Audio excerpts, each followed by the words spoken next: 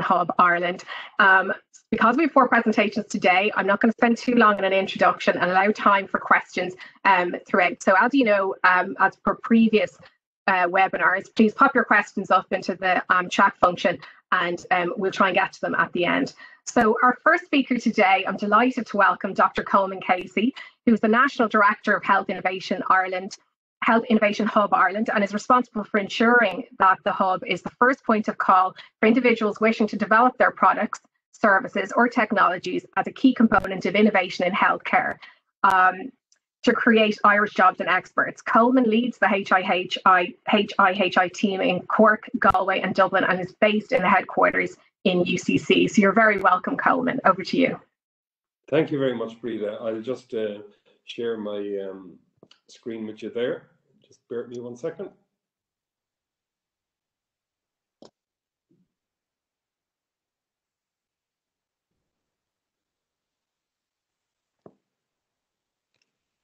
Yeah, there seems to be a difficulty there now, even though I tried it earlier.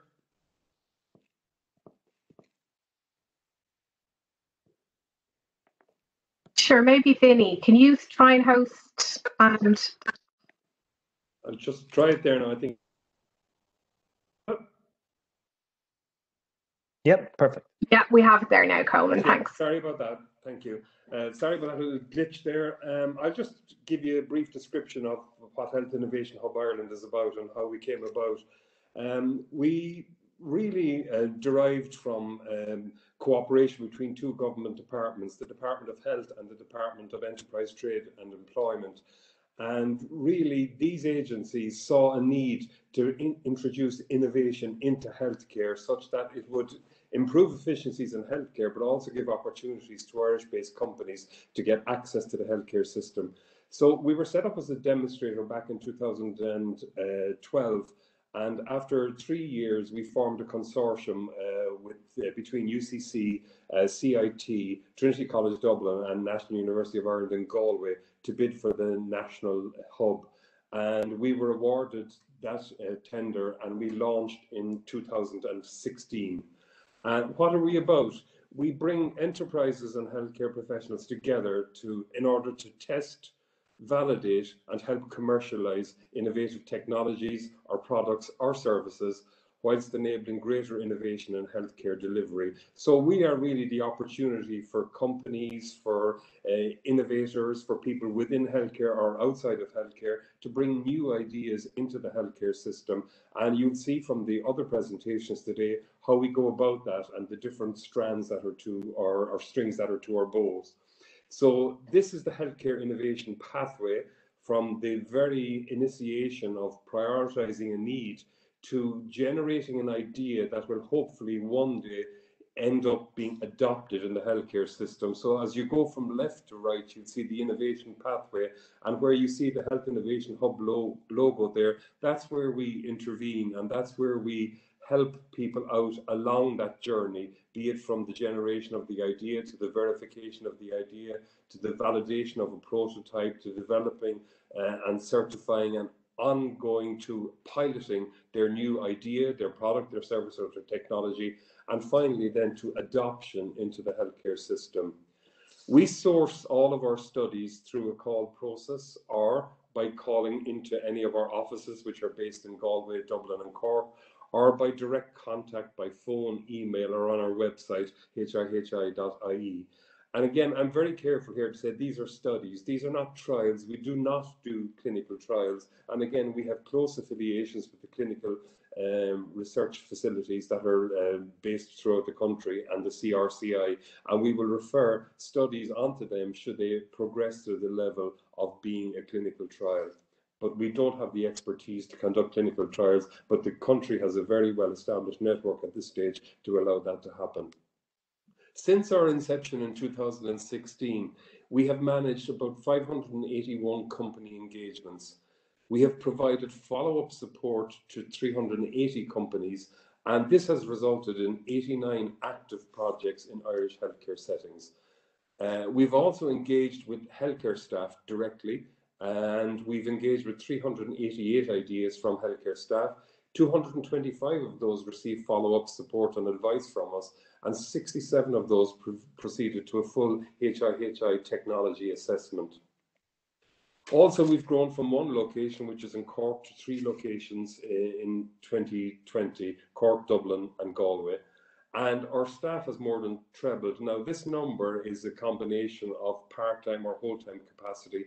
And really, one of the big things that we have, one of the big advantages that we have, is the HSE have allocated staff towards us. So that has been really, really critical to our mission. We have staff on the ground in uh, these three different locations spread across the country who can engage with any studies that we have in be it in a primary care ses- setting or in a pharmacy or in a hospital or whatever. We have uh, those staff which are allocated to us. Plus we have core budget staff that are funded by enterprise ireland. So that combination of health staff and our own core budgeted staff is really critical to our uh, mission so we are, as I mentioned, in three locations. We're in Galway, Cork, and Dublin. The Dublin office is situated in St James's Hospital, and again, we have very close links up there with the Dublin Midlands uh, uh, grouping, healthcare grouping. Our offices in Galway uh, are based in uh, the University Hospital Galway, and again, we're very closely allocated there, or associated, sorry, with Saolta Healthcare and our main office in Cork, we've got two offices. We've got one CIT, Cork Institution of Technology, but our main office is in the Western Gateway building in UCC. And again, we've got a very, very close affiliation with the South Southwest Hospital Group. So you can see all the different hospitals there that we have direct access to. We're not limited to those hospitals when we do studies because we can also do studies in any other hospital in the country. So that's really important for us. That's a picture of our team there taken a number of years ago. This is the governance. We've got a national oversight group, and on that national oversight group, it's really, really important. We've got the Department of Enterprise, Trade and Employment. We've also got the Department of Health. We've got Enterprise Ireland. We've got the HSE. We've got SFI, Science Foundation Ireland. We've got the Health Research Board, HRB, and we've got the IDA, the Industrial Development Authority. So they're all represented on our national oversight group. So that's a very powerful group that we have, and they're the main group that give us oversight. Uh, we then have a steering committee that's chaired by our principal investigator, who's Professor John Higgins. Uh, he's the clinical director of uh, the South Southwest uh, Maternity Services. And then we've got our operations team, uh, a lot of who you'll meet today on this call. And now, from next year on, we'll be setting up a health priority needs subgroup to ensure that what we are providing to healthcare is addressing needs. That's really critical. And we'll also have local healthcare advisory groups uh, to help us formulate those needs in both Cork, Galway, and Dublin. And the little uh, circle up on the top are the stakeholders that we interact with. So you can see there's a very broad and diverse group of stakeholders there that we inter interact with and liaise with in order to introduce new technologies or products or services into healthcare, which will help to create greater efficiencies in healthcare and greater innovation. And I'll now hand back to uh, Breda because uh, the rest of our team would like to describe in more detail and more granular how we actually operate on the ground. Thank you. Thanks, Colman. What a fantastic presentation.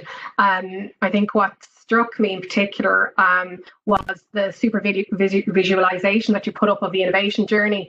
Um, and whilst many of our audience today may not be from the health sector, I think the pathway that you've you've demonstrated shows pretty much the same sort of journey um, for all innovations in the public service. Maybe some of the endpoints in terms of certification don't apply, but um, it, it definitely was a really interesting and super visualization of, of maybe how organizations can approach um, uh, innovation in their organization.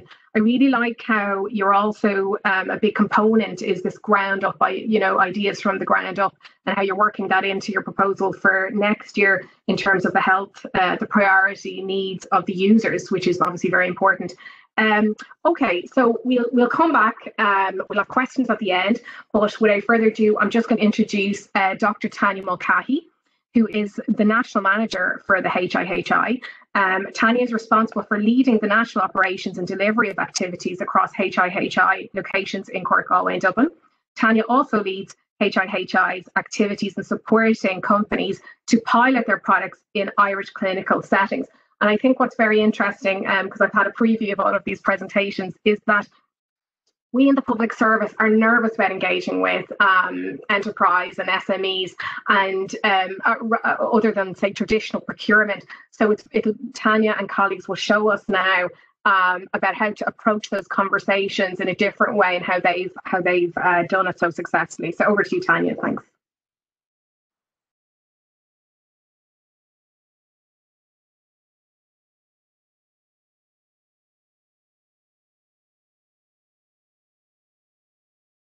Tanya, you're on mute.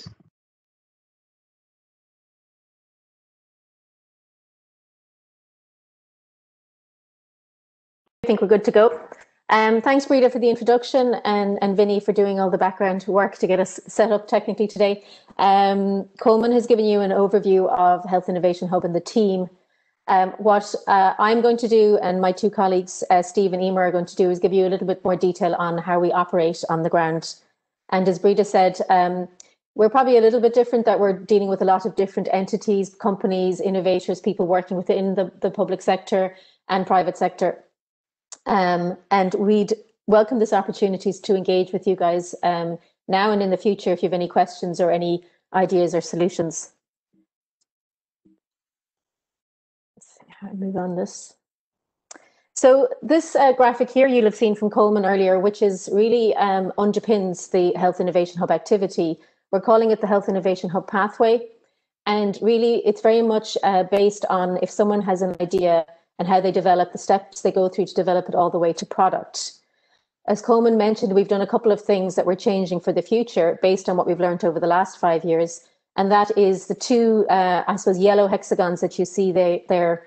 We're bookending our current activities with those two activities. One is prioritize, and prioritize really is identifying the needs of the healthcare system.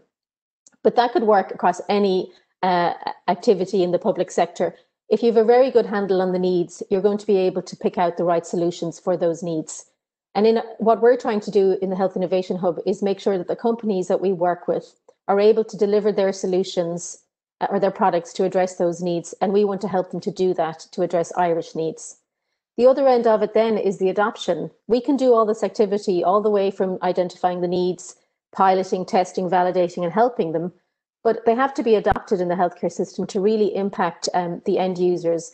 That's the staff within the healthcare system, the patients within the, within the healthcare system, and ultimately us, the citizens of Ireland, because we eventually will all, let's face it, have to use the healthcare system at some stage. And COVID has shown us that when the healthcare system is operating well, we can deal with almost anything.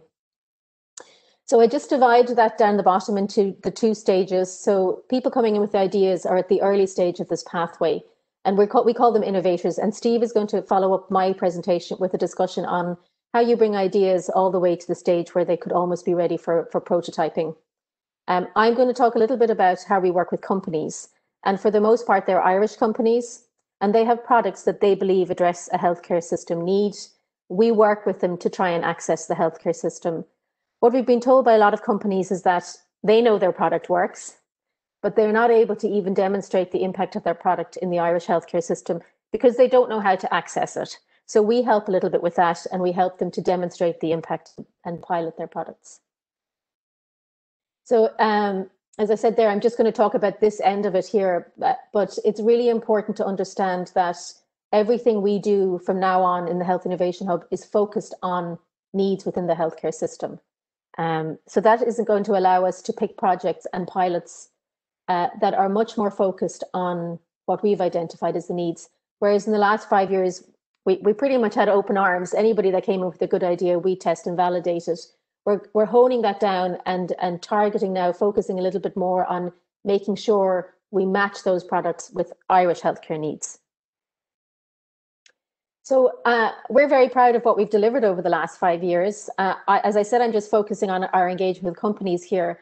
And I think you can see from uh, this graphic, and Colman mentioned it earlier, that we have done a lot of work uh, with Irish companies uh, in the healthcare sector. We've worked with over 580 companies, and that's a huge number of companies that are, for the most part, small SMEs and startups that have a product that can be used in a healthcare setting. Um, we have had th 379, it's more than that now at this stage, what we call meaningful engagements, where we've worked with those companies to either put them into, in, in, in connection with some other Irish uh, support activity, or we've been able to give them feedback on their product and tell them they have to, to change or modify it a little bit before they're ready to come back into us. We've done at this stage over 89 projects with companies. And when we say a project, it means we've taken a product and we've brought that into a healthcare setting. We've engaged with clinical teams on the ground, patients and end users, and we've uh, conducted a study and a report on that product. Um, to date, there are 21 of those products in use in the healthcare system, and that's spread between private and public healthcare entities. And some of those products, quite a few of them, more than 50% are also in use outside of Ireland now, which is really good. And if you just took, we, we don't track the, the job numbers, but we've done a little survey on, an, on, on a subset of companies. And uh, to date, there are over 183 additional jobs in those 89 companies that we've worked with on projects. So that's really good for the Irish economy.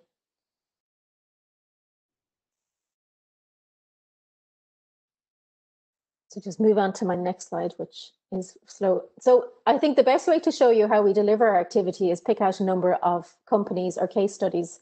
And if anybody's interested in the, the products we've been working on with, I'd direct you to our, our website and we have put really, um, we've eight uh, case studies up there now and we'll have another eight coming uh, in, the, in a short while. And that really gives you the information on what we've done with these companies and where they've gone to. But Viclarity is an example of a Kerry-based company um, they were uh, successful in compliance monitoring solutions for the financial sector. And I think this is very important because a company that has been successful in one particular sector can often pivot or actually expand to have impact in the healthcare sector. But it requires this first stage, which is prioritize. It requires someone to identify, identify a particular need. And then we as Health Innovation Hub uh, come in and we say, well, that's the need but we know a company who can provide that solution. When we pretty much matchmake, we bring the two of them together. So in this case, we actually, um, it's usually the staff on the ground that identify the need. And in this case, a nurse came to us and she said, we need a way to manage and track compliance with HIQA standards. And she also actually kind of almost gave us a solution. And she said, I happened to be at this presentation. I think it was an IT Tralee about um, local based companies. And she said, this company does exactly what I want, but for finances, is there any way you think they could work and help us in the healthcare sector?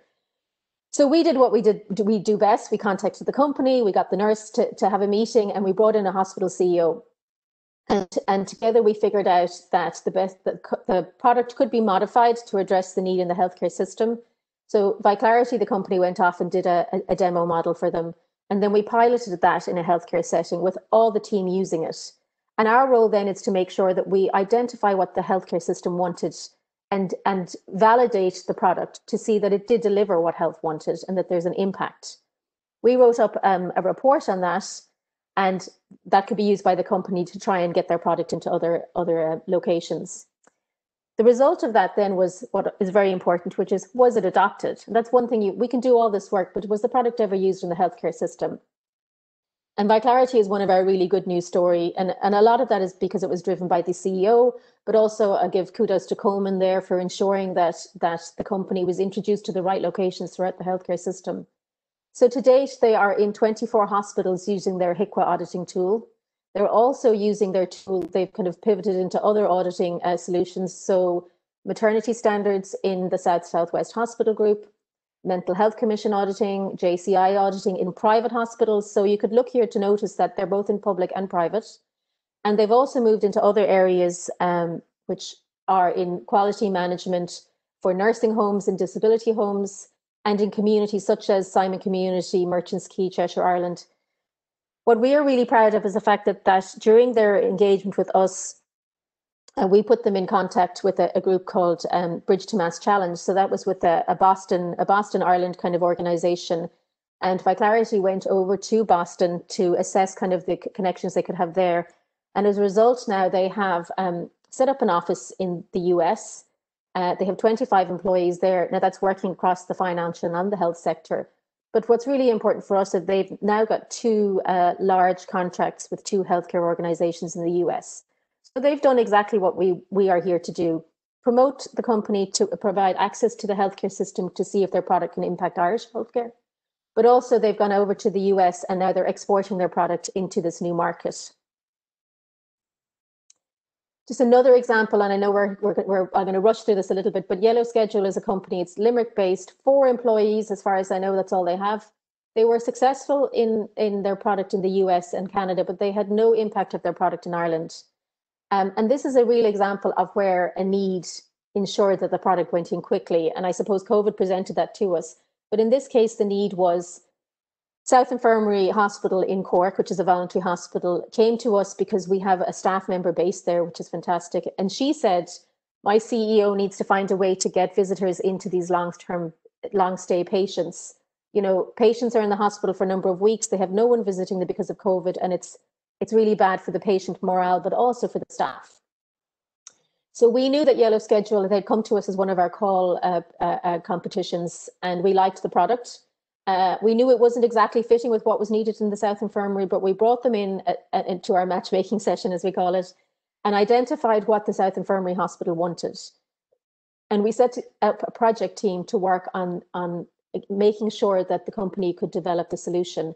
So within a number of weeks, in fact, I think it was two weeks, they came back with the demo model, which we piloted in the South Infirmary, and the feedback was phenomenal. What the product did, in fact, was um, allows a, a visitor to log in online uh, before the visit date. They then have to fill out the questionnaire in terms of COVID. Uh, if they pass all the required um, requirements, they are given a QR code. And when they arrive to the hospital on the day of their visit, they scan that QR code. That minimizes the interaction with uh, staff in the hospital.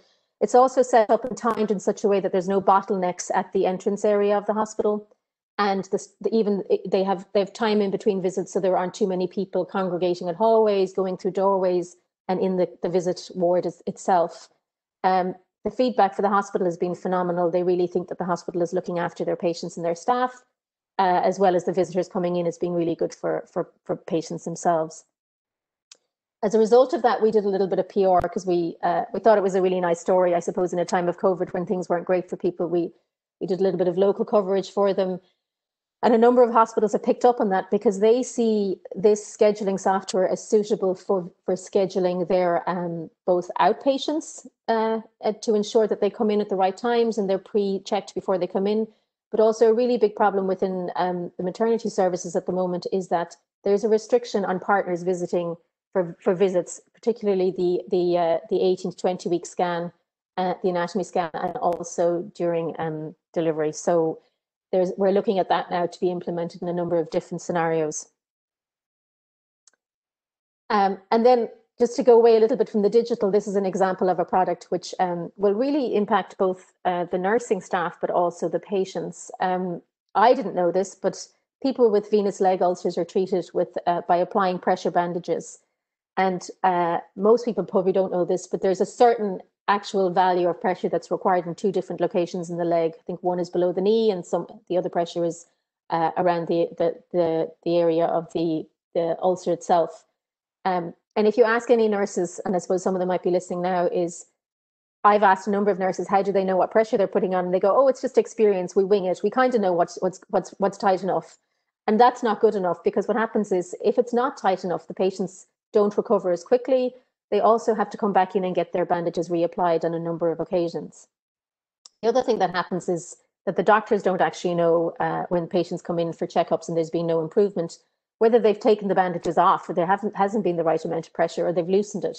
So what this uh, company did, very small company again, um, developed this product called Tight All Right. Uh, it basically just measures the pressure of the bandages using a sensor that's applied under the bandage and it sends the signals back to a mobile app so the nurses can know if they're putting the right pressure on the bandages.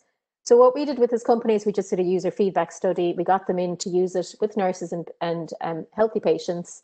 And we got a lot of feedback from the nurses about the things they liked and they didn't like. So the company is now going off and making their next version of their product.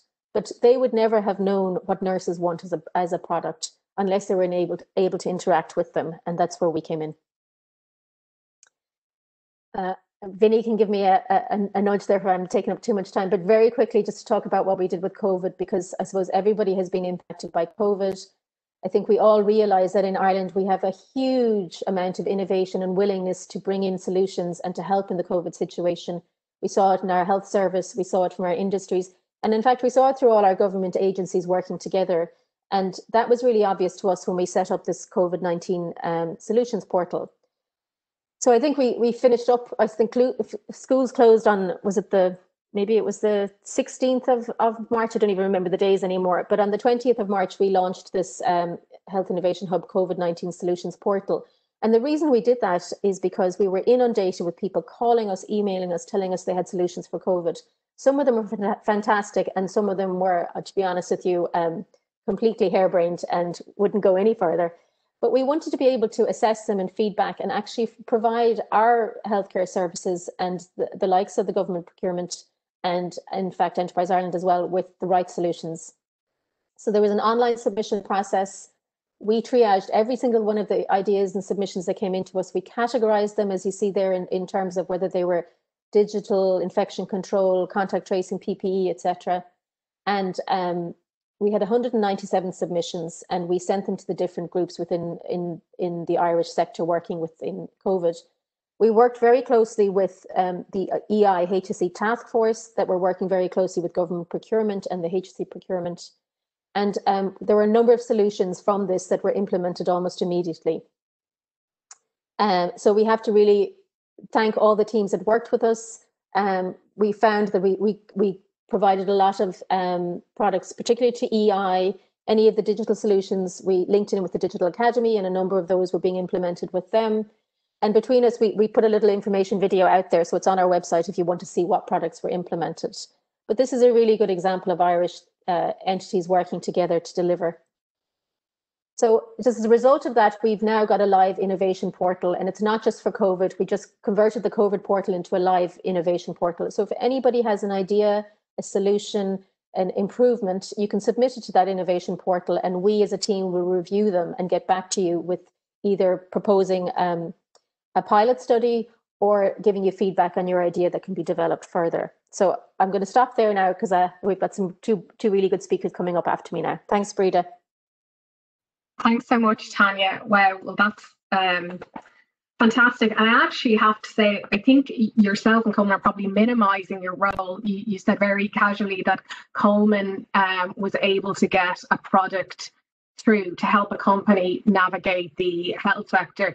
I, you know, I, I think people have to really understand how difficult that is in, say, the civil service, which is only about 41,000, never mind the health sector, which is about 119,000. So um, navigating that essential role, uh, ideas are fine, but if you can't actually get into the particular sector and introduce and start those conversations, um, you know, ideas alone are nothing unless unless they're acted upon. So um, uh, fair play. Um, I really uh, like the idea. You talked about two weeks for one of your projects to, to create a pilot. That's like phenomenal timing. Um, obviously, in COVID times, I think we've we've um, we've witnessed a lot of stuff happening a, a, lot quicker than would be normal. And unfortunately, uh, you know, the, the, levels of bureaucracy usually stop us from, I guess, moving quicker. I know you've mentioned procurement, and we'll talk about that later.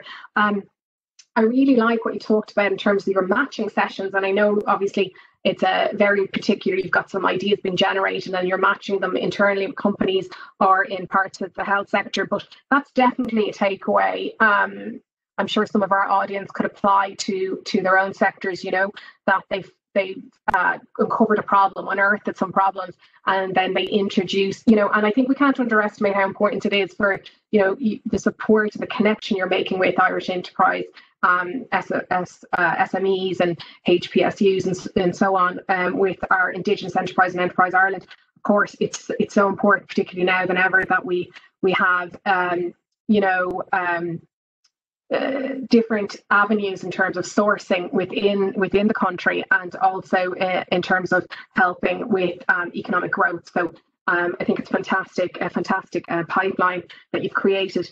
Okay, um, thanks, Tanya. So next um, we have Dr. Steven Griffin, who is Health Innovation Hub Manager based in NUI Galway, with specific responsibility for delivering um, the Hub's innovation from healthcare activity. Um, Steven facilitates healthcare professionals validate their innovative ideas, provides advice on the next steps um, and the funding sources. Steven works with companies, entrepreneurs to engage the healthcare community with the aim of verifying and validating their service or product and move it closer to market. So you're very welcome, Steven. Over to you. Thanks very much. Um, I'll share my screen here now. Um, you seen that now? Super. Okay, so uh, my name is Dr. Steven Griffin and I'm the manager of the Health Innovation Hub in NUI Galway. I'd like to thank Breda and Vinny for this opportunity to speak and it's fantastic to see such supports for innovation uh, within the government. So I'll give a um, brief overview of the Health Innovation Hub, who we are and what we do with respect to supporting innovation from the front line, how we support those ideas and the outputs and a few examples. So part of our mission is to support the building of an innovation culture within the health service. We do this through a suite of knowledge building resources and guidance for healthcare professionals on the key steps from ideation to adoption. And ideation and verification is the area I'll, I'll speak to. Um, Colman uh, showed this slide earlier uh, and it shows where our offices are and the uh, hospitals that we're linked in with. So we're, we're linked in with 23 hospitals, but we're, we're not exclusive to working with people from just those hospitals. We work with anybody from healthcare. And our team comprises of clinical personnel, including pharmacists, nurses, infection control specialists, biomedical engineers, physiotherapists, all allocated by the HSE. This is important to show kind of the breadth and depth of experience on the clinical side. Um, the other half of the team um, were employed by the various uh, academic institutions, and we have experience um, from industry, SME startups, and multinationals uh, in research, project management, innovation management, and uh, academics experience across a, a wide range of areas. And it's this collaboration between academia, healthcare, and Enterprise Ireland that provides the technical, the clinical, and commercial expertise, as well as the innovation management required to move any kind of idea or product or service towards implementation or market. Um, we have three pillars working with healthcare working with industry and working with our. sorry we have an education program i won't speak to all of them but as well as working with companies and entrepreneurs we do facilitate and enable those working within healthcare to validate and develop their ideas to solve problems in healthcare and the philosophy around it really is who better understands those problems than those who work the problems on a daily basis You've seen the health innovation pathway. This is how we work, and it goes from you know identifying the priority needs in healthcare through to the adoption of a product and service. The area I'll focus on is um, ideas coming from the front lines and how to develop them or bring them towards reality. We can facilitate work in the areas of ideation of solutions through training and workshops. Um, uh, and for the verification, we have um, a tech assessment or an idea assessment process to verify early stage solutions based on the clinical and commercial need. So how we support the ideas, the process really is that we encourage people to engage with us in the first instance, either by phone, email, or online on hihi.ie or in person. Um, uh, we filter the ideas. That is, we select the ideas that address an unmet need. Is it an idea for a, a, real problem beyond the experience of the person whose idea it is? We all think our own ideas are great. Um, and uh, we look as well to see in, in certain cases if there's potential intellectual property um, or if there's a significant market. Are people already out there paying to solve the problem? Um, uh, and it's important that the innovator must be willing to drive the development of the idea or the product, um, that they have the time and the commitment to see it through. Um, I'll speak a little bit about how we verified the verified these ideas and, and the supports that we have available. So, like I said, our first thing is just get in touch. This is the first step. We have an open door policy our tech assessment, our ideas assessment form. It's it's an it's an online form and it's uh, straightforward. And this helps to identify the risks early from various different perspectives, including the commercial, technical, and the user perspective. And what we do is go through it and then we identify those risks and recommend a path forward. So how would you address those risks to move you on to the next step? Um, we provide mentorship to help you or the the the the, um, the promoter through the process of addressing those risks, understanding um, that the innovator may not have a, a, background in this work, that their expertise and background is in their area, um, and we help bring them through the process. Ultimately, we're looking for support for that idea. Where does it go next to get either the capital to, to move it forward, or can they um, link in with different partners, be it within a university, within healthcare, or uh, within an industry, or any other type of financial uh, support? So the um, the idea assessment or tech assessment, it's it's a straightforward application, and this kind of works across the board, whether it's for healthcare or um, any other sector. What is the problem? Is the problem specific to you? Uh, from the healthcare perspective, what's the clinical impact of it? Like how many people does it affect? And this can, how many people does the problem affect um, in terms of numbers? Commercially, how much is being spent to address it every year? And how is it being addressed? Who are the stakeholders? Have you identified all the stakeholders? How does the problem affect them? And what are their pain points? Um, what are the current solutions? What's been done locally, nationally, internationally? What's the best practice? And what are the disadvantages of those? Why do you think the new solution is, is required? What's your solution? Can you articulate it? Is it a novel solution? Are you inventing something new or is it just a new use for something that already exists? Um, can you compare it to the other ones?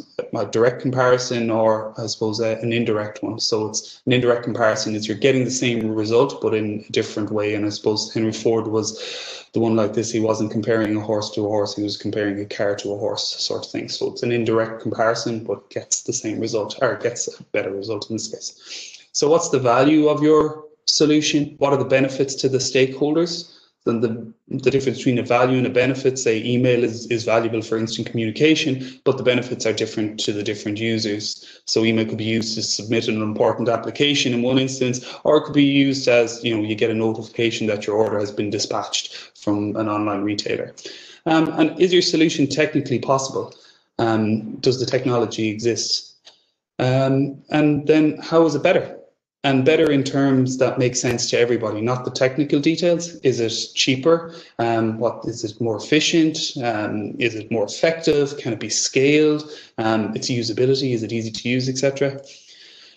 With respect to stakeholders, I put this up because there may be more stakeholders than you first considered. And one of the things, particularly in healthcare, is who will pay for it and what is the benefit to them? Usually it's never the patient, rarely the patient will pay for it or, or cl clinical team.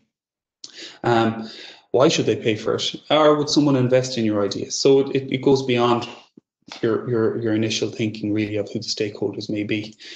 Um, as well as the open door, um, and the idea assessment, we have an annual innovation competition in partnership with the HSE via the National Doctors Training Programme, the Office of Nursing Midwifery Service Development, and now the Health and Social Care Professional Group. And this provides uh, an opportunity for training and funding. So it's run. It was run nationally this year. It's the only bottom-up award program open to all HSE staff um, it's open to ideas for products, services, as well as service developments and process improvements. And it involves a, an innovation workshop for the participants and the opportunity to pitch to a panel of expert judges to win prize money to develop the idea further. Um, the process is simple. Um, there's an online application. Strong ideas are selected that are reviewed by the HIHI team. Uh, the innovation workshops bring the participants through the stages of developing a strong case for their idea and cover things like need validation, stakeholder engagement, competitor analysis, customer discovery, and uh, pitching. So we provide continued mentorship uh, from, from our team to help them develop the pitch and, and deliver it. And the pitch events then were separated into three regional uh, finals and then one national final. And the prizes then, prize money was given out, and that is uh, to bring their projects further along. Um, an additional benefit to the participants and to the HSE, I guess in this case, is that these people, they leave with the know-how, how to tackle the next idea in a systematic and meaningful way the outputs kind of fell into two camps. There are those with commercial potential and those that are process or service developments. And the commercial pathway, um, it's different almost for everything, but ultimately you're looking for funding to get it developed. Um, and, and there's plenty of resources out there um, to, to help early, mid stage and further along. Um, However, uh, from a service development or process improvement, implementing a new service or, or process requires support from within an organization, and the projects should demonstrate and have, in, in the that we see coming through anyway, a clear need for the solution that they're proposing. And they should show cost savings to to the payer in this case the HSE and or to the to the exchequer to the government and show that it increases efficiencies whether it's patient uh, throughput or uh, improvement in care or staff efficiencies. Um, what are the benefits to the staff as well? This is important as well as the patients to the benefits in the healthcare system. So very quickly I'll just go through um, a, couple of the success stories so the overall winners of the Spark Ignite competition competition in 2020. This was our innovation competition were Rose Caffrey and Marie Ronan, two antimicrobial pharmacists in Mayo Hospital, uh, and their project uh, was part of the fight against antibiotic resistance and the rise of superbugs. And they they developed a digital system to monitor the usage of antibiotics in, in a hospital and managed to save 100,000 euros in two years in their hospital alone. It also saw a 90%, 90% decrease in the use of the strongest class antibiotics, which are reserved for the superbugs, um, and uh, nearly a 50% switch from using intravenous back to oral types of antibiotics. And they decreased the amount of stay patient had in hospital by 0.5 of a day, so half a day saved for patients. Derek O'Keefe um, and his team, they're developing a detector for feeding tubes or uh, nasogastric tubes. So when a feeding tube is inserted there's a risk that it can go into the lung instead of the stomach and each patient as a precaution has to have an x-ray to ensure it's in the stomach and not in the lung. And this is time consuming it's inefficient uh, not to mention the discomfort for patients who may have been fasting for prolonged periods while waiting for an x-ray um, and if it's gone into the lung that they'll have to do it again. Um, what they did identify is that there was a huge clinical need it's risky uh, and expensive uh, procedure. There's a huge commercial opportunity as well with cost savings associated with it. The technology is available. It's it, it can happen, and they are working now with NUI Galway, and they're planning on uh, filing a patent for this technology. Um, and lastly, I'll just speak about the, the Clinical uh, Innovators Award. And this is uh, just one of the many supports that are out there. And this one's supported by Enterprise Ireland for those working in healthcare. And it provides them with 15,000 euros um, to do a deep dive on the market uh, um, market analysis for their projects. So if there's a positive result then from that market analysis, the projects uh, will be maybe eligible for further supports. So the three winners, Helen Ryan, Connor Judge and Cormac Farley um, of the previous Clinical uh, Innovation Award, all had some interaction with the Health Innovation Hub. Um, they're all early stage ideas for medical devices and each group are now working with Enterprise Ireland and a university partner to move their projects forwards. I guess the point really of this one is that it doesn't there, there are supports out there for early stage regardless of the sector that you're in this just happens to be one for for health. So um that i'd say thank you. That's that's that's me finishing off um and details there for anyone who wants to to link in. Thanks so much Steven. Very interesting. And again you make your framework your look very simple but I know that it's not running a fund ourselves for the last two years and engaging with ideas. It's obviously ideas uh, aren't innovation, and there's a lot of work to do to make that innovation. Um, but your framework is is um, I think, very applicable uh, that could be shared and used within the public service. The engage, filter, verify, and support the unmet need um, uh, in in the healthcare and and the the company that has the idea. It's it, uh, I mean to me, I'm very biased anyway. I'm of from Department of Business, but I I really think it's a win-win. You know, um, so um, and I really like the idea that you also provide mentorship um, so I look forward to asking you a bit about that in, a short while. So without further ado, I'll introduce our last um, speaker, um, Eimear Gavin, Galvin, who manages Health Innovation Hub in Trinity College Dublin. Based in St James's Hospital, Eimear oversees the Hub's knowledge network, which underpins the Health Innovation Hub's innovation pathway. The knowledge network offers a wide selection of programs and workshops to upskill and positively impact the healthcare innovation environment. It is designed to accelerate skills development and system change. So you're very welcome, Eimear.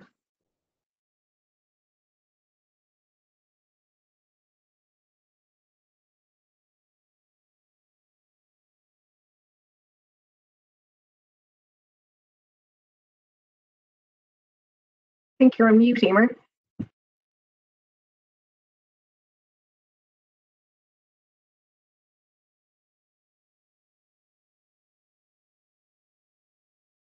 Still, still mute. I don't know, Vinny, can you unmute Eimear? We might just come out of that and see. I have it. I have it. I think. You know Oh, what? I, I sincerely think that the epitaph of um 2019 or 2020 is going to be "You're on mute." Uh, so it's it's amazing we got this usually far. me, so I'm Oh, glad it wasn't me this time, Eimear. Yeah, I think I was too too enthusiastically sharing my screen there. Okay, so as Breda mentioned, um, my name is Eimear Galvin and I am the manager of Health Innovation of Ireland in Dublin. So I'm normally based in St James's Hospital. Um, today, I want to have a look at the knowledge network, which underpins the health innovation pathway, um, which we deliver across all three of the hubs in our national network. So to do that, I'm going to start off with a little bit about culture change. Then I'm going to touch on the Health Innovation Hub Ireland new normal. I want to tell you what we have been doing. I want to show what's next with the HIHI Knowledge Network. And then I'm going to conclude with a couple of key takeaways. So, in terms of um, culture change, I actually spent a bit of time looking at different definitions online when I was preparing for this. And the one I settled on in the end was the one contained in the DPER, recently launched innovation strategy. So, it says that to create a culture where all staff are inspired, empowered, and enabled to innovate. And I chose it because it tallies most clearly with what we do in Health Innovation Hub Ireland. So we try and supply the tools and the skills and develop the mindset for innovators right across the healthcare landscape in Ireland, whether that's through piloting, making clinical connections, whether it's webinars or workshops. And it's actually, it's a really timely thing to be discussing culture change today because I think what we have all seen is a huge shift in our lives in terms of social, health, and economic because of COVID 19, right? And everybody's talking about the new normal. And you can sense a little bit of frustration around this because it's, it's in a way people feel it's been foisted upon them. But I actually think we need to flip that. I think it's an opportunity. I think we should start looking at what do we want our new normal to be and how can we redesign our systems to facilitate it.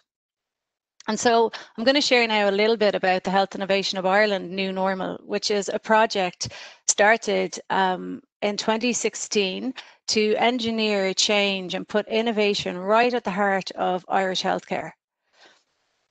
So, um, of our three hubs, uh, we have principal investigators at each hub, and many of them are practicing clinicians.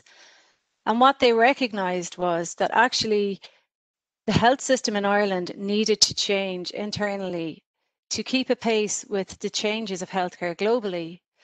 Because the fact is that there is a real interdependence between implementing healthcare technology and the organizational culture of an acute site. And what we all came to the conclusion was that if we can't change how we work in the Irish healthcare system, the Irish healthcare system won't change. And so we want to reorient the system in Health Innovation Hub Ireland. So we will reorient the health system at pace, but we don't want to plant one big tree, okay, and put all of our efforts into this growing overnight.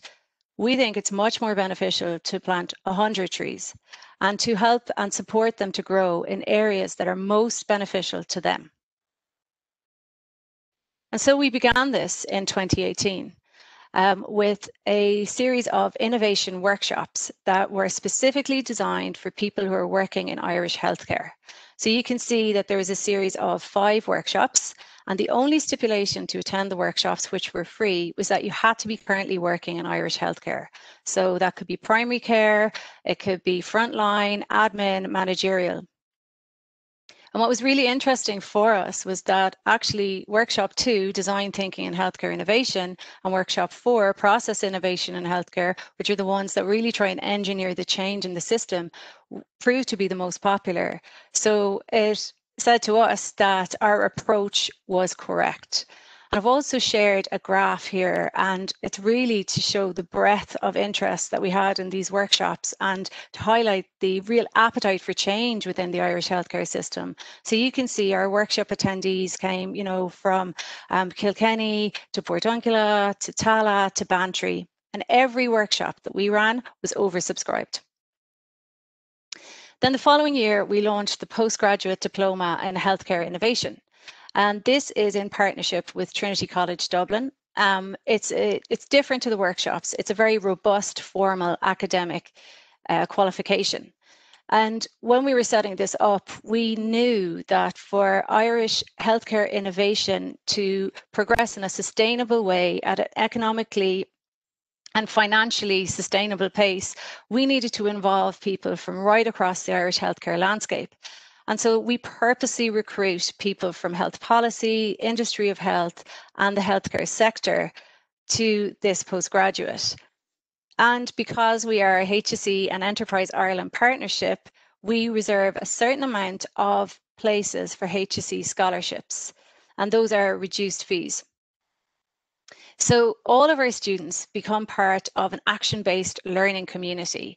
Um, and you can see in the final two modules, our students are supported to identify, develop and implement a healthcare innovation idea or product within their own organization.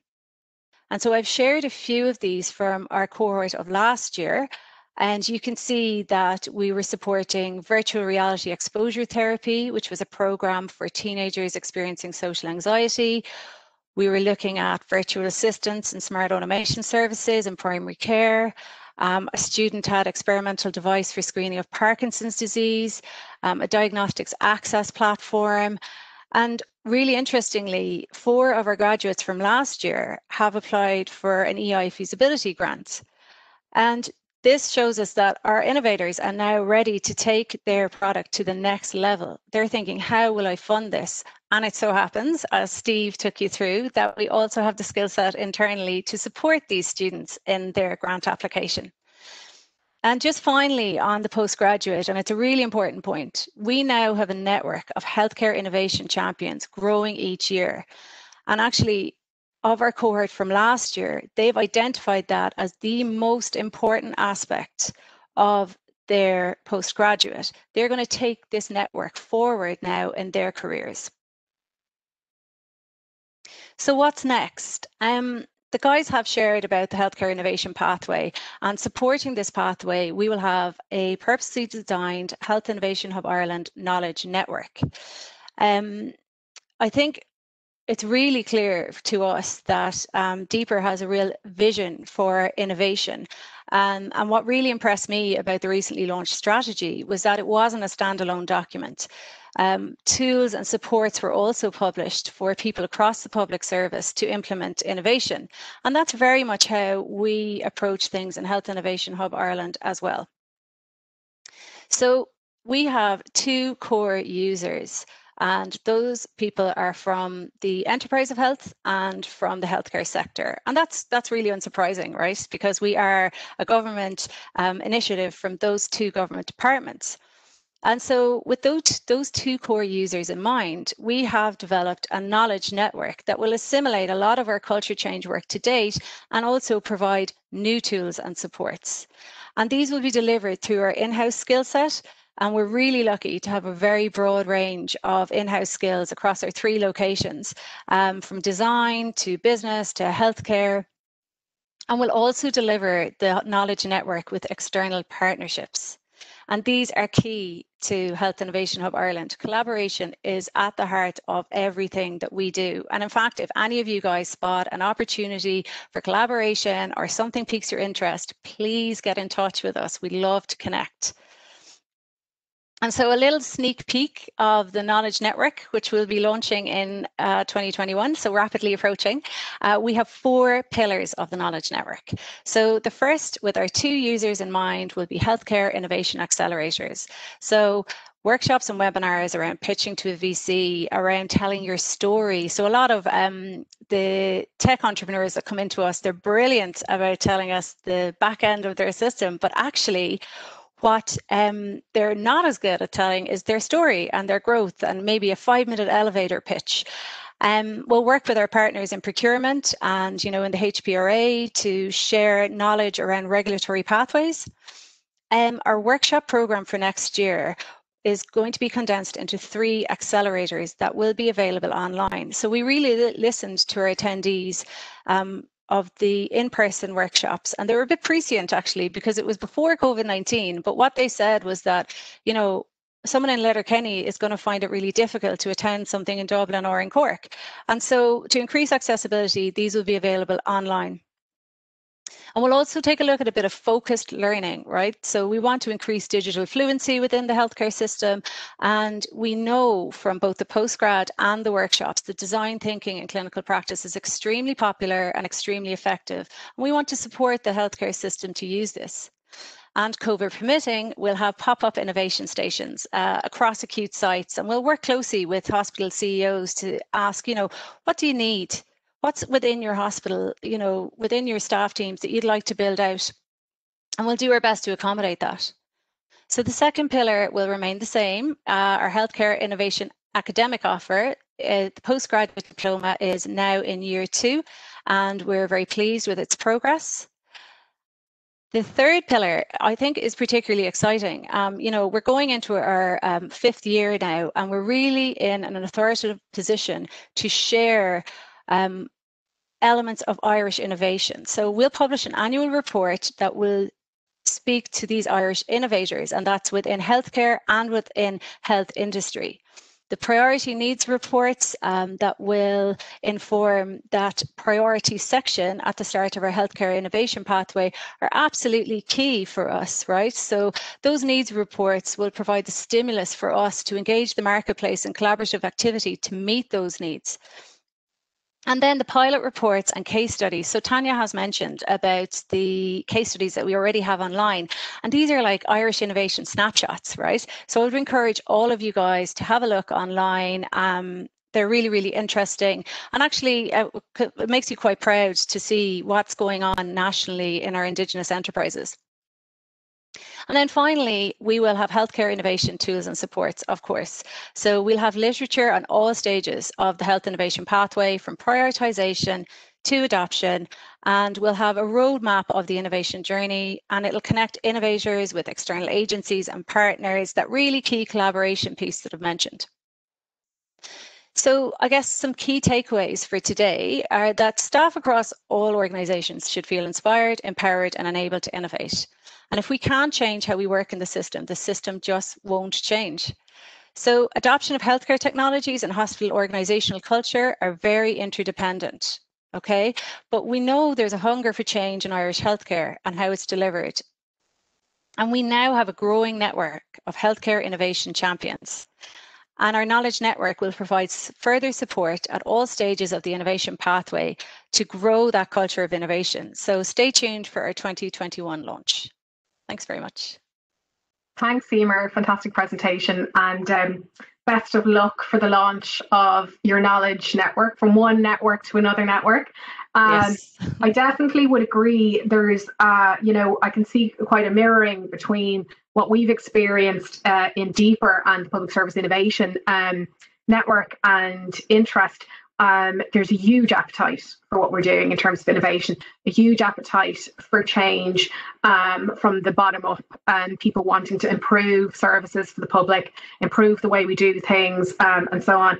And it is those people that generally have that interface with the citizen um, and so on that um, that see the problems, see the problems in the systems. Um, uh, I really like how you're talking about also unearthing those challenges because it can be sometimes difficult for um, public servants um, to sort of put their hand up and say, no, we have a problem we can't solve it. And so your pop-up stands a really interesting idea. I really like that.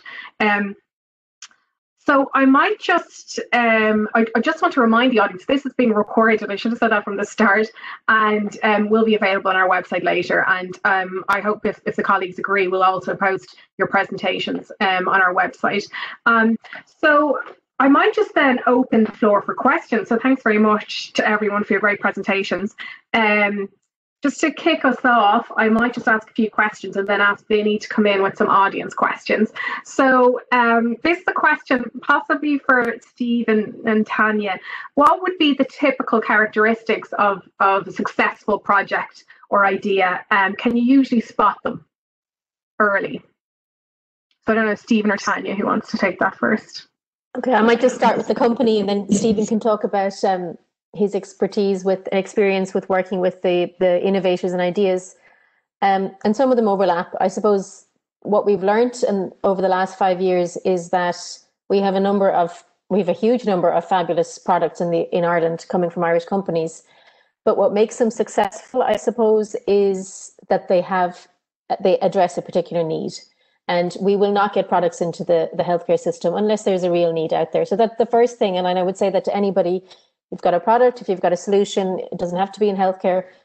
Make sure you have a you've identified the need and you've identified the person who has that need. So um, they'll be the ones that will be championing it within the system they're in.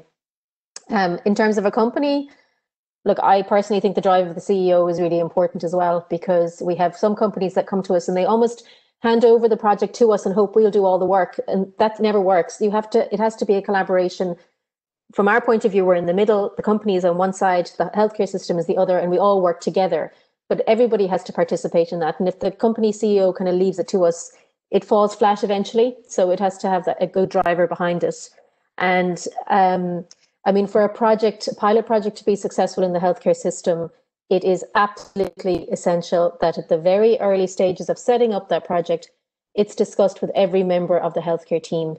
Uh, so if if it involves supporters, if it involves the ambulance crew, if it involves nurses, we have to bring them in at the early stages to let them know what's going to happen, to understand what they feel will be the benefit to them, and also listen to their concerns in terms of threats and and potential implication in their work. Um, and if you do that right, a project will be successful if the product is right. So they're my they're my things for a good successful product and project. Good tips there, Tanya. And Steven, do you want to jump in as well? Yeah, to reiterate what Tanya was saying, is there a need for it first and foremost? Does the I put a lot of stock on the person who's bringing it forward as well. Like, do they understand the need or the problem properly? Um, do they understand that it affects multiple stakeholders? Is the idea, the solution itself, like, is it realistic? Is it based in reality? Does the technology exist? You know, um, is there a team behind the project, or is there um, an awareness that it may need a team to develop it? That they may not have all the expertise, particularly if it's a digital solution. They can't. They may might not have building an app capabilities themselves. Um, do they have the bandwidth to to commit to it. It's not, you know, as Tanya said, are they just trying to hand it over to you to to bring it along, even though it might be a super idea, but that's not um, that's not realistic, really. Um, do they have the drive or belief in it, um, and are they objective? And are they willing to learn? You know, you can say these are the next three things that you need to do, but if they keep coming back with the same um, blocks or, or, or, barriers, then it's it's um, possibly wasting time. Yeah. Thanks, Steven. And I think you've both hit the, the point that really applies across the public service. The user need is so important. Um, uh, looking for the problem and matching that with the solution. Um, Colman, I might ask you, what sort of support do you mostly provide to companies, or is it different in every case? It is different in every case, but I, I guess the main factor, and just harping back to what you were saying earlier as well, Breda, it's it's about accessibility. And I think a lot of companies, what their problem was is they couldn't get access to the healthcare system. Uh, they may have been selling their product in, in a distant location, but they, they weren't getting access to the healthcare system in Ireland. So I think first and foremost, we provide access. And that's really valued then by companies or entrepreneurs. And then what we do is that with that access then comes a requirement for, on behalf of the company. We're giving them privileged access, but we will run a pilot study or we will run a, a verification of what their product or process or technology is or service. And what we do is we ask them to provide that for the duration of the study free of charge. So there's no charge to the healthcare system as that study is being evaluated because really they're getting invaluable access. And uh, I'm, I'm always reminded of a particular company that we dealt with, and they had all of the acronyms, they had all of the technologies, they had all of the the, the buzzwords that are used, B2B, P2P, you know, the, everything was was sort of all buzzwords. And we had set up accessibility for them with a particular clinical sort of team. And we said, look, the selling is done. You don't have to sell anymore here. This is all about us doing your project with this clinical team. So just really leave us coordinate this, leave us choreograph this from start to finish. Uh, but of course, that wasn't good enough for the people that were involved and suddenly they started using all the acronyms and one of the guys said look this is a very good platform and the the clinical person that was there said stop a platform to me is where i catch my train and I think that really will show you that, look, you're dealing with a different language, a different mindset. And companies before, they went in the door, they used all the technology. And again, the team didn't understand the language, it was a different language. We, as I said before, we're almost like matchmakers. We bring the two of them up the aisle, but we've no guarantee that they'll remain inseparable forever. They may get divorced, they may not work out. But the bottom line is that by actually you know, facilitating that introduction. I think that's the really key part. We support them. We will then identify the needs of the healthcare system because they want something out of it. We identify the needs of the company because they'll want something out of it. And we put all of that together in a document called a project agreement document. So that document will highlight in advance of the project, it will highlight the duration of the project and what the desired outcomes are for both participants. And then the company will provide the relevant training, will, uh, provide the relevant uh, documentation, will provide all of the services free or charge for the duration of the study. And then post-study, we will then do an unbiased report. So we have to shelve all of the requirements of the company, all the requirements of clinical setting, and say, did we meet the requirements of the company? Did we meet the requirements of the um, of, of the the healthcare setting? And if we did, we'll document that. And if things it's up to the company then if they feel that's a benefit, because in some cases it didn't work out too well for the company. So then they don't want that published uh, all over the world, and that's fine too. That's their choice. But we will do the study, we will give our unbiased uh, sort of report at the end of it, and then that, that's the end of it as far as we're concerned. I hope that answered your question, Breda. Absolutely did. Um, really intrigued by this matchmaking. I might talk to you later about that. Um, I also, uh, I think it's really important to to really convey how difficult that access is, not just obviously in the health sector, but the health sector particularly. Like we've been approached in the public service innovation team um, more than once from people in the health sector wanting to be introduced to people in the health sector also. So, like, actually, uh, uh, so you can imagine how difficult it is for companies and so on. And that language piece, you're so right, Colin, there about creating a common language. They don't necessarily speak the same um, within, again, say, civil service with private sector, never mind in a clinical setting. So yeah, that's a really, really important point. I might ask Vinny to see, have we got any um, audience questions? Um, Vinny, do you have any anything you'd like to pose to any of the uh, members of the panel? Yeah, I might pose uh, two questions together just to maybe give uh, people a chance to think about the answers. Uh, the first one is for Steven, um, and this comes in from Martin. He's just asking Is there feedback from the idea assessment, and then what is the evaluation like? And then the second question comes in from Louise, and I'll open this up to the floor. And this is just asking How flexible are you on the time frames applied to your funding?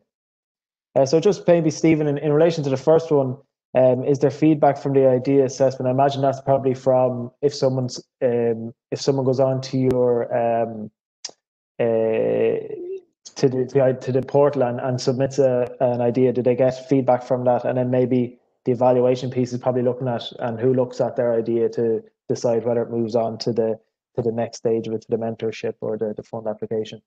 Yeah, so I suppose from the idea assessment or the tech assessment perspective, you're you're invited to submit one of those. So we'll send you out the form and you fill it in. You can engage with us by any of the ways I'd said earlier, and, and we'll we'll talk, speak with you about your idea, etc. And then if there's something to it, um, we'll send you the idea assessment. You fill it out. It covers kind of all the areas that I focused on um, during the talk, the problem, solution, current solutions, etc. Um, we will then look at it from the perspective of each of those and we'll dive into it. So we'll do a kind of, we'll, we'll analyze the stakeholders, all of that uh, sort of stuff, competitors, who's out there, you know, the need itself, how large the market is, is it a global market, uh, regionally, you know, geographically, um, different. Um, segments of it, etc., just to get a, a real feel for for the, the problem and then the solution itself that's coming in. Is there IP there? You know, have they done a have they looked to see if there's any patents in the space, that sort of stuff. So it kind of cover covers a lot of the I'll say I'll say basics, but the, you know there's there's there is a bit of work in it, um, and so yes, feedback is provided then once we go through it, and the feedback is provided in, in the form of a report, um, and it will have identified the areas where where where the gaps are really, and along with that feedback, there'll be recommendations. So maybe they've only looked at the market in Ireland. Well, is there a larger market somewhere else? What about the US or China or etc.? You know, how many? Is this really? Um, you know, is this the right indication you're going after from a clinical perspective? Is this the right disease, or would there be other applications, lower hanging fruit or bridgehead markets that you could go? Or beachhead markets that you could go into, etc., and how you would do that then. So that's the feedback we would give them. So if it's you know do some engage with the primary um, engage with the users, do some primary market research, how you should do it, how to be objective, develop a survey, etc. It depends where they are in it and, and what they need to do, and then focus as well on you know what the next steps should be and how you would satisfy the criteria of a funder maybe or a customer to get them uh, bought in. So yeah, the uh, that's the feedback. They do get feedback, and uh, evaluation. And then, like I said, we provide the mentorship um, or the supports. We, we, we're there to um, you can tick tack back and forth with us. Again, I will say the onus is on the person to do the work. We're there to help. Yeah. Yeah. No, it's, it's probably because it's, it's it's huge in that um, someone hasn't just submitted an idea and then they hear nothing back, or it's just a no, and then they're left thinking, well, why why would I bother engaging with that? Like it's huge, I suppose, that you're giving them feedback as well, because then they can go back, look on it, and maybe reapply again. And then uh, just from the evaluation side, then is is it? Do you have like an internal team then that will that will look at it, and once you're given something the green light, it, it'll move on to the to the next stage. Yeah, we have a set of um, uh, so the evaluation will kind of say come through the first part. If they're on the portal in the first instance, they'll be evaluated there. Uh, we have a set of uh, eligibility criteria. You know, does it fit yep and that's uh, that'll be that's known. That's that'll be there, uh, and then we'll have the internal assessment, which will tick a, a number of um, more kind of pertinent uh, uh, boxes, and then they're invited to do the the ID assessment. That's the stage that they're at, and then it's a real. Like I said there, I, I won't. Yes. And then, did anyone want to kind of touch on uh, Louise's question on how flexible you are with the timeframes applied to your funding? I, I so, don't really understand the question actually, Vinny, uh, in terms of what time frames for our, our so our, yeah. Uh, it could possibly maybe if um, someone was successful and I know it once you got through the mentorship you went through a fund application. Um, so then I assume they might receive funding then are they tied in is it a, a year, three years or have they a certain time frame then to complete the project maybe? Yeah. We don't actually provide funding. We Okay. Uh, we direct people towards funding so we can actually help them in the preparation of grants with research organizations that, that kind of thing. Uh, we can help them for applications to enterprise ireland frontier funds etc innovation fund. So we actually don't provide funding uh, directly at all. So uh, that's why i didn't understand the question. Yeah more signposting that except though Vinny, sorry just to, there, there is one specific area where we do give awards so it's not funding, but there's awards to the winners, which is what Steve mentioned about the the ideas coming in from the healthcare innovators. And Steve, am I right? It's within a year they have to spend it. Uh, they've 18 months. Uh, 18 months. We work with them to spend that. Uh, the funding is it, it, it's required that it's spent on developing the the project itself. So we try and uh, you know we we'll work with them to see where they want to spend it, and then try and streamline that process. Yeah. And, and that's this that's the Spark Ignite program that we're doing in collaboration with the NDTP and the uh, Office of the Directorate for the Nursing and Midwifery. So that's a collaborative project that we're running together, the Spark Ignite one. That's the only, Tanya's quite correct, that's the only one where we actually do have direct funding access. Can I jump in there? Yeah, I just had a question for Steve. I know you mentioned it in one of your answers earlier, but the IP, the intellectual property. Um, so uh, you know, again, I would I would imagine there's a lot of public servants that are, are really quite nervous around this and don't really understand it that well. Um, and we ourselves in our innovation fund, you know, uh, we're trying to figure it out. How who owns the IP? Um, uh, and all of that, and uh, open source solutions and, and so on. So, but obviously this is a different scenario. You have business, we're trying to support business here as well, and you're validating their uh, innovations. So what, who owns the IP in, in the case of um, uh, uh, Irish SMEs uh, that you work with, and what are the benefits from the health sector? Do you work in, you know, that um, they're obliged in some way to sort of roll out um, the the solution in in in the healthcare system in Ireland, or is how do you work around? It's a, a very difficult area. IP. The IP company is it's it's owned by the company. They'll own all the background and, and foreground IP. They just come in and we facilitate the engagement with the healthcare uh, community uh, to help them develop it further. Um, it is theirs. They own it. Um, uh, how does it benefit the healthcare sector if something uh, an outcome from from an engagement with with you know the the right people who have the expertise and experience to help them in, develop their product further that ultimately it'll bring it to bedside quicker. So it'll be available then to come back into the HSE that's the I suppose the main benefit and, and obviously the associated benefits then to um, patients, staff, uh, the exchequer, exports, all of that. Um, I can touch briefly on if you yourself as an innovator have an idea, who owns that IP? Um, that completely depends on on where you came up with the idea. Idea. Did you come up with it during work as part of your work?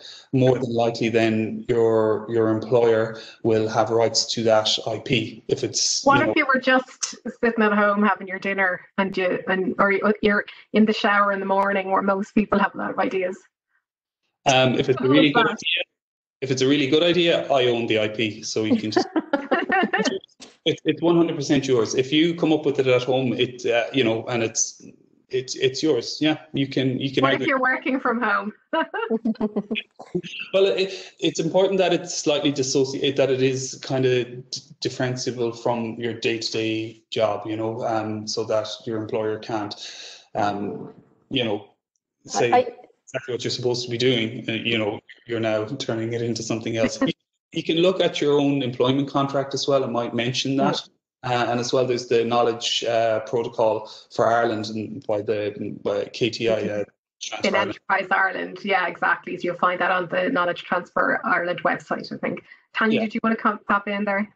Yeah, I suppose that there's two things about IP. I think if you're working in the healthcare system and you come up with a new technology in your job, I, I think the only problem we have at the moment is we don't have an IP protocol within the, the HSE that I'm aware of. So I suppose Steve has come across this a little bit in his activities that people working, and, and there's also the differentiation between, you know, I'm I'm a biochemist, I work in a hospital, I come up with a biochemistry solution. Uh, is that because I am a biochemist or is because I'm working in a situation where I saw the problem? It's hard to kind of differentiate between those. But I think for Ireland as a whole, there is kind of, particularly through um, Knowledge Transfer Ireland and that and, and Department of Business or Enterprise, and what is it now? Department of Enterprise, Trade and Employment, is let's promote let's enable people to develop their ideas and and try not to make IP battles the reason why things don't progress. So that's what I'm in favor of is making sure that we get good ideas and good solutions developed. The innovator, ultimately the person who comes up with the idea is the owner of the idea and managing that IP needs to have a process in place. But a lot of the people that come in with ideas would not be able to develop them further themselves. So through Steve and the team, we kind of link them in with academic experts. And then the universities have a share of that IP as well. So it's it's quite complicated, but it can be made enabled so that we promote solutions and products rather than stopping them early on. So um so Tanya, if I can kind of sum up it, it and Steven, it is quite complicated, but uh, you know, uh, uh, it can be it can be navigated and don't let it put you off. I think that's the message I'm getting from both. And I, I think that can be quite scary when public servants start having these conversations about co-creating solutions with um, indigenous enterprise uh, uh, or MNCs or whoever. And I think not to let these kind of issues just take it uh, stage by stage, think of, I suppose, the end goal. Um, Vinny, do you have another question from the audience? I might just yeah. jump quickly, before you do. If if you do have an idea and you think there's IP in, that there's intellectual property there, generally um, don't publish it online or show it somewhere where somebody else can can can find it um, until you're until you protect it in some way or another. And there are mechanisms of doing that. And one way to be cautious, if you do kind of want to talk about it, you just talk about the benefits of it. You talk about the size of the problem it's going to address, as opposed to what the secret sauce is or what it is. Just just for any innovators out there who, sorry, Vinny, for cutting you off. No, you're fine. Um, I have a an, an easy enough question for Eimear, and then I'll pose a second question if if any of the team want to think about it. Uh, the first question comes in from uh, uh, Beata, and she asked, "What platform do you use uh, for your knowledge network to share your resources, tools, um, and supports, etc.?" And then a second question comes in from Ross, and he asks, "Do you find it challenging in getting the health service to take on pilots, and particularly ICT pilots?" So I might go to Eimear. Um, yeah, sure. Um, in terms of the platform, the Knowledge Network um, will be on our website, so there is a space on it there. Um, but it's not it's not filled yet because the launch isn't until next year. But any questions or want to be kept up to date, definitely drop us an email. Um, I think in terms of the HSE and ICT challenges, um, yeah, there's definitely ICT challenges without a doubt. Um, it's not just cultural um, change that we're looking at, we're also looking at system interoperability um, challenges, and you'll find that these are more frequent in statutory hospitals whereas the voluntary hospitals have um, ICT skills, they have teams, um, you know, electronic health records are in James's, Tallaght are getting there. Um, so with, with, without a shadow of doubt, there is ICT challenges. But again, our collaboration comes into play. We work really closely with eHealth Ireland. Um, we work with um, Martin Curley's team. Um, you know, we want to ensure that if somebody comes to us with a product, then it will be able to speak to the different different systems that are in different hospitals. And we can do that working with um, the Chief Clinical Information Officer's office. So we're very very aware of that and there will that will always be one of our first assessment pieces. Um, you know how will this integrate with systems within the hospitals and can it?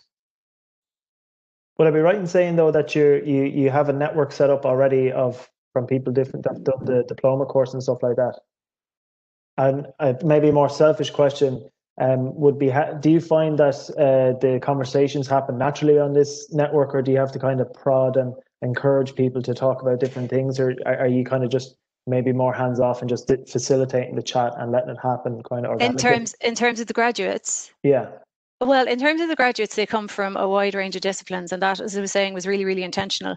Um, so, no, we do um, kind of move them forward into the Health Innovation Hub Ireland family, if you like, and we mm. we are setting up um, kind of an online resource for them as a network of healthcare innovation champions. Um, but I do, yeah, absolutely. I think we can all attest that those conversations are happening naturally. You know, um, when we talked about drawing from across the landscape, um, what we found with our first year of graduates is that they um, are facilitating their own their own network. You know, they're drawing on each other's skill sets, um, and really, that's that's just that's fantastic for us because you know we're we're we're meeting our objectives of setting up that that that network and the postgraduate. And maybe yeah, maybe Vinny, yeah, just to say, just in general, you know, over the five years that we've been operating now nationally, it's very easy for us to get teams interested in running a pilot when they know the benefits of a solution. So that's in general. It's not just ICT. I mean we're actually blown away by the support we get from the healthcare system in Ireland. Um, it just amazes me that when people they're so dedicated to their their work on a day-to-day basis to their patients and the way they deal with the patients and the families and their work team. But when we come in with a new solution a lot of them are really interested in helping get that into the system if it's of value. And that's the most important. Again it's back to this value. Do they see the value? Can it impact the way that they work? Does it bring benefit to the patients and their staff? And then they will engage on a project and that's what's really good for sure. And actually, um, Tanya is so right because um, we do get to work with these teams that are interested. But I guess a little USP that we have is that network on the ground who know how to identify the teams. So they'll know the clinical team that may have a research interest or specific therapy area. And, you know, we regularly meet that nas- our national network. So we've got about 15 people saying, well, actually, you know, maybe someone's come in through Galway, but the place for the pilot's Dublin, or maybe they've come to Dublin and it's in Cork. And we have teams on the ground in all those three locations to engage. It's fantastic that you have uh, identified the storytelling as well, because I suppose ideas can be great, but if the if the person can't portray the the benefits to it and the value of it, uh, it could fall flat in its face. And it's it's it's fantastic that you've highlighted that and tried to to spearhead it from at the get go and kind of give people that support. I'll hand back to Breda now. I just have a quick question for maybe Colman wants to take this one. Um, has COVID, how has COVID impacted um, the culture of innovation, do you think, in, in the health sector, even in the wider public service? And, and maybe, you know, if we could take that and think about what, if any, uh, barriers existed in, in the health service pre and post COVID, maybe you could talk about that, uh, Colman. Yeah, sure. And I could add on to the, the last question there about the, you know, running pilots in a, in a in a system, particularly when it comes to ICT or whatever. I guess one of the things we've become quite expert in, and if, if you think about it, healthcare is a very complicated system to work in because there's patients at the end, and you always have to be cognizant of that. So, what we have heard a lot over the years are a lot of reasons why we can't do something. Uh, so th that's the first barrier we'll always come across. Uh, there'll be barriers, regulatory barriers, which are understandable. There'll be financial barriers. Uh, there's GDPR uh, barriers and there's IT barriers. So all of those barriers are present, and some of those uh, can be very difficult to deal with. But our job is to be creative and innovative and work around them. So when it comes to the IT ones, for example, often what we can do is we can run a pilot in parallel without directly impacting the existing existing IT system and then show the benefits and then afterwards try and get that nationally ad adopted or whatever. And the whole way we do that is by partnering, by working with people. So what COVID really has done is it's forced people to work together. I think that's that's the really, really most important thing of all. It's not the be all and end all. We haven't solved our problems. Rules changed when COVID came in. Procurement rules changed. So that clearly was an advantage. But also, people were working very cooperatively together because we had a common enemy. We wanted to actually resolve these issues. So we were forced to work together. And that became really, really important. So when we gave companies a voice, when we gave innovators a voice, we were actually able to do what we do best, which is connect them with the relevant people. And we were aided and abetted by rule changes, but there's still a lot of things uh, that need to happen. Remote is with us forever now. I think remote working, remote uh, uh, analysis, etc. All of that is going to be really, really important. And uh, I think to me, it's that partnering, it's that working with people, it's that stretching across. And you know, I, I I do often tell a story that we did an electronic prescribing trial uh, in Blackpool in Cork in 2012 and in that year, the legislation was passed to allow and facilitate electronic prescribing, etc. So that was to our advantage. But unfortunately, it was never really adopted or enacted because there wasn't a need.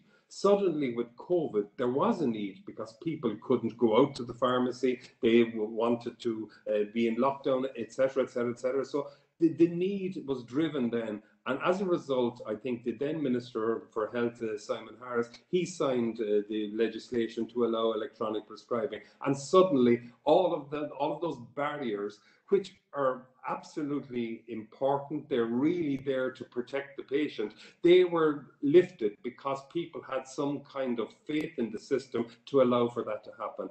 And we were there in, because of the study we had done. We were in, we were there able to show this can work in a study situation. It's different when you put it into real life and put it right across the country. But the bottom line is we've seen the same thing now with the pharmaceutical companies. We're talking about a vaccine next year. Uh, I worked in the pharma industry. We're talking of 10 to 12 years to develop a vaccine. And within a year, we have a vaccine. And that's because people are working together. They're really working. The regulators are working closely with the pharmaceutical companies. So it's all about our ethos of partnership and working with people and listening to both sides of the story and trying to then overcome the barriers that are inevitably going to arise. Because i mean i as a patient going into a hospital i will have concerns. So i want to be sure that everybody is all singing from the same hymn sheet and that we're all cooperating together. To me, COVID was about cooperation and working together. And we were able to show that you can,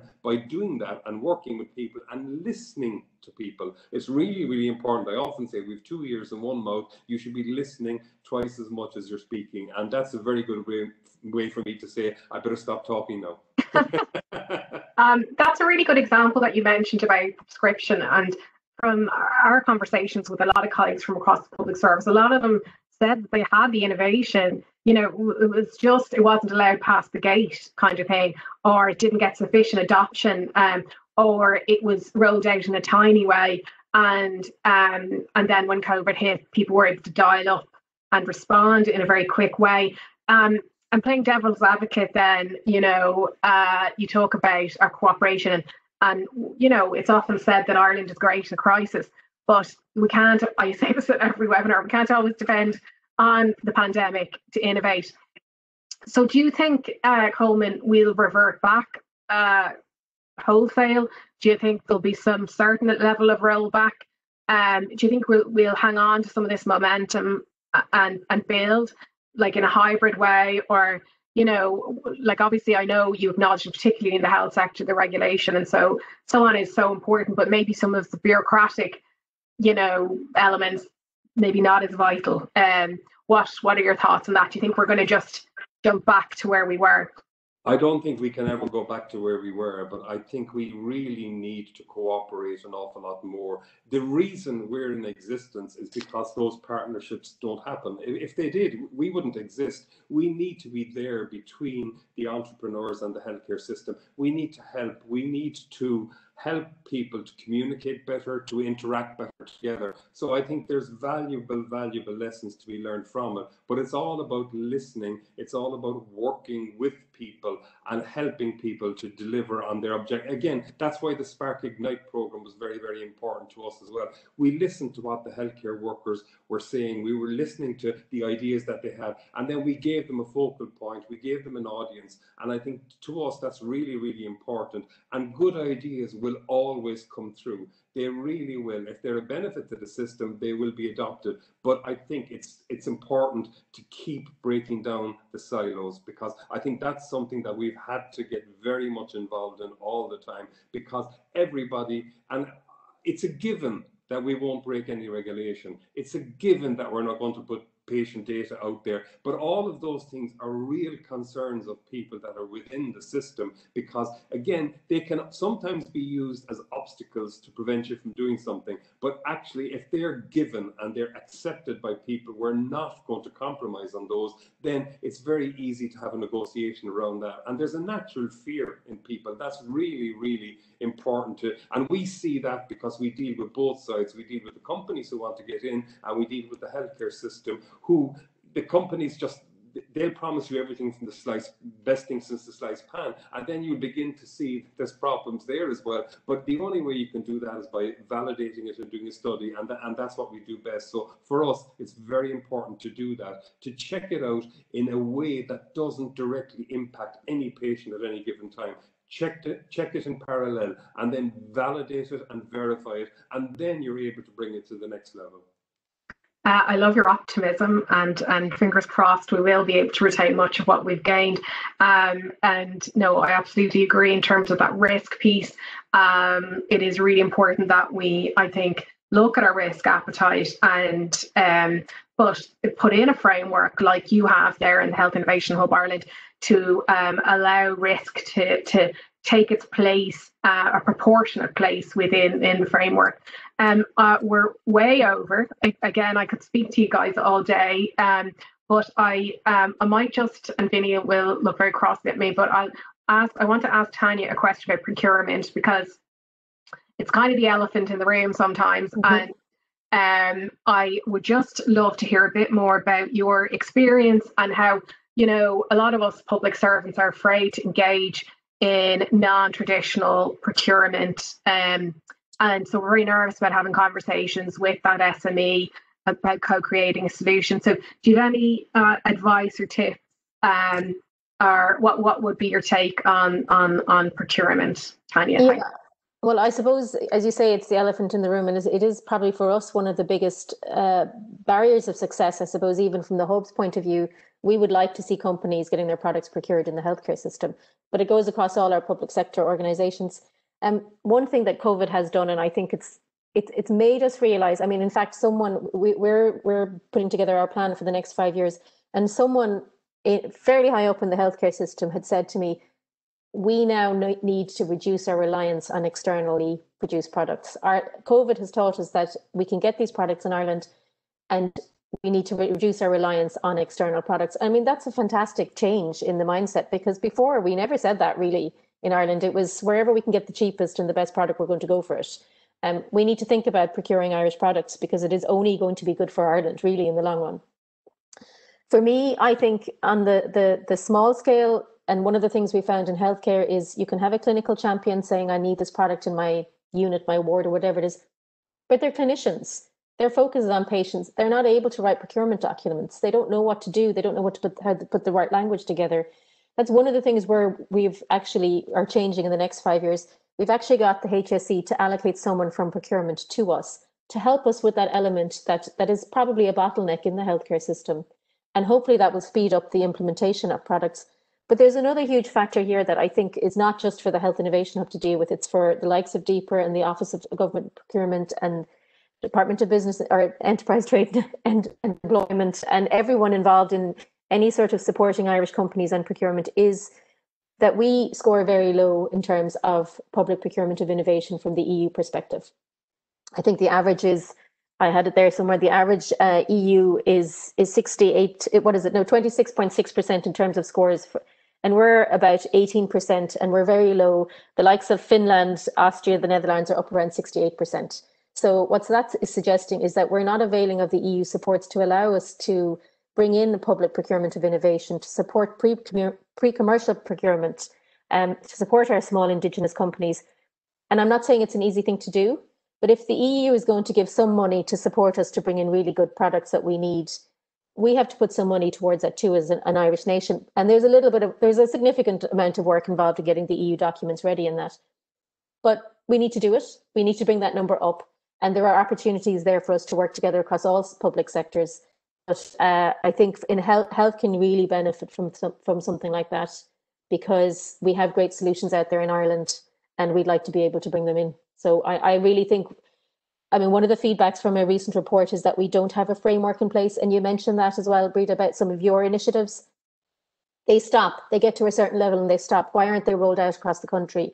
And that is because you need a really big procurement bid out there to get something to roll out nationally and we need ways to, to, innovative ways to make that happen. So we'll be working with you guys in the future hopefully on something like that. And anyone else who wants to participate i think we could put something together to make it happen yeah, absolutely. It's it's something we hear time and time again, and I think um, a lot of people, when they heard you say pre-commercial procurement, it probably sent shivers down their spine. But uh, we see it being successfully rolled out. I, you know, know of number of cases in local authorities uh, yeah. specifically, but I think sharing knowledge around it and kind of demystifying it, understanding it a bit more, and as you said, you know, trying to avail of this expertise and money that's available from the EU.